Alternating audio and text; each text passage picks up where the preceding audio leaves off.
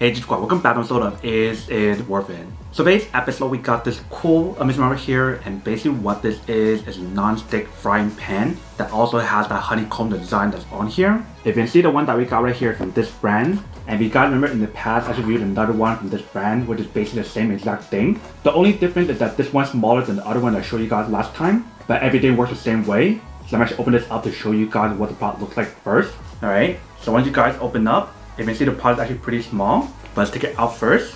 So once you guys take it out, here is basically what's included inside. So same thing right here, they do probably got the handle inside the little box. And then right here we do have the product. So right here we do have the lid, and the bottom right here we do have the actual product. So take off all the wrapper first to show you guys what it looks like. Alright, so once you guys take out the lid, here is basically what the lid looks like. So right here in the middle is where you guys want to set the handle, and right here is a little hole for the steam to come out. So when you guys open the little box, let me show you guys what the handle looks like. Alright, so this is what the product looks like. Let's take it out. So I'm seeing right here they do provide guys a user manual to teach you guys how to set up the actual handle. So this one's slightly different than the other one because there's not that part in the middle. And when I do take out the handle, here is basically what the handle looks like. If you guys can see, the handle is much smaller than the other one I showed you guys before and missing one of the pieces because it doesn't have it for this one. So the pot itself is much smaller but for this one, it does require you guys to use a screwdriver to actually screw it together.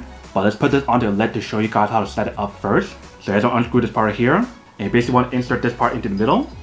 So just like that. Once you guys do that, you guys can put the handle on top and screw it together.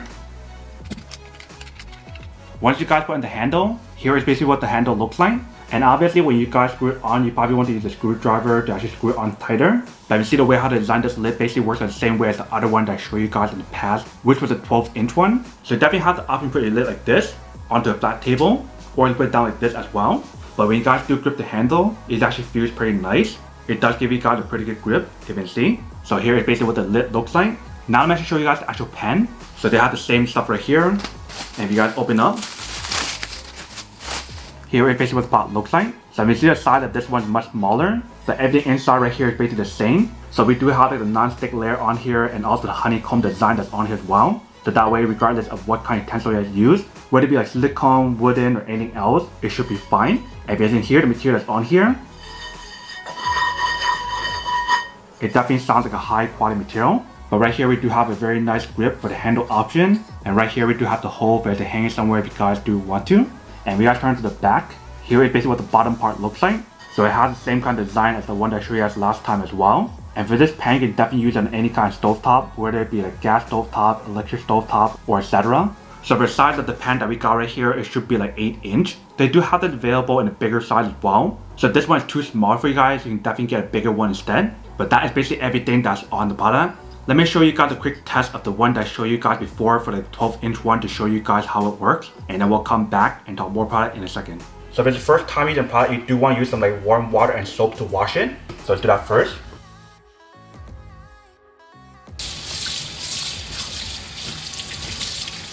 Alright, now you guys want to do the same thing for the pan. So like I mentioned for the pan, because it does have like that non-stick layer on here and the honeycomb design on here, it's so much easier for to. If it's in here.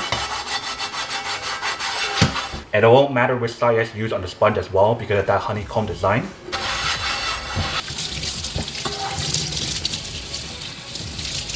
Alright, so that should be good. Let's test it out to see how well it works.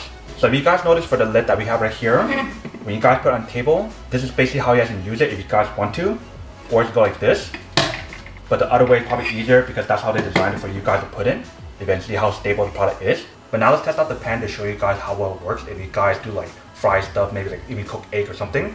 Alright, so first thing you want to do is turn on the fire to let it heat up first.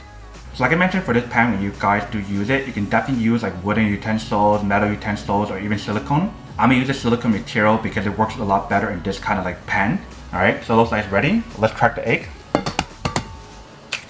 So here's basically what the product looks like once you guys do crack the egg inside. Obviously when you guys cook it in here, you guys can definitely add oil or whatever. But for this test, I want to show you guys how it works if you guys don't add oil.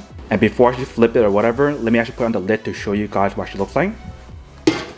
Here's basically what the product looks like with the lid on. So when you guys put on the lid, the steam can definitely come out from the hole right here. You see how well it's working already. So if you guys use your utensil, you see how well the non-stick layer on here definitely works. And definitely see how nothing on here really sticks on when you guys do use it because that honeycomb design like I mentioned, but also like that non-stick layer that's on here as well. So that way it makes it a lot easier for you to cook stuff in here and easy for you to clean as well. You can see how everything just comes off real easily. Like all these stuff on the side, if you guys want to scrape it off, feel free to do so because it will come off eventually. Alright, so you can see the product definitely does work and actually works pretty well. Welcome back guys. So nice little quick test button definitely actually does work and should work quite well. So like I mentioned for the video that I just showed you guys, that one is basically like the 12 inch pan. Whereas for this one that I just showed you guys is an 8 inch. So if you guys prefer like a bigger one, you can get the bigger one instead. But if you guys want to cook something very simple like frying eggs or something, then you probably want to get a smaller one so that way it doesn't waste a lot of space. But definitely the coolest thing about the product is the fact that when you guys use it, it definitely gives you guys that non-stick layer on here. So regardless if you guys want to cook like steak, seafood, or if you guys want to cook egg or something, whatever you guys want to use on here, that is totally up to you guys. But I mean, see the product definitely works pretty well. But that is basically everything that's on the product. Now that we can unboxing and testing product, answer the question of whether or not it's worth it or not. So for this product, I do have to say that it is pretty worth it if you guys want to need one of these. Especially if you guys are in the market looking for a high quality non-stick pan. That also give you guys like the honeycomb design as well. That I do have to say that it is pretty worth it. But then obviously for those guys who don't want, don't want, or having one of these, that obviously don't buy one and save your money for something else actually do need. So that's basically everything for this video itself. If you guys like this video, make sure to smash that like button in the bottom. That will definitely help this video out and it will definitely help with the algorithm as well to promote more videos for you guys so you guys can see more of the videos or similar videos as well. But as always, make sure to stay positive, be you, and I'll see you guys in the next episode of Is It Worth It? Peace.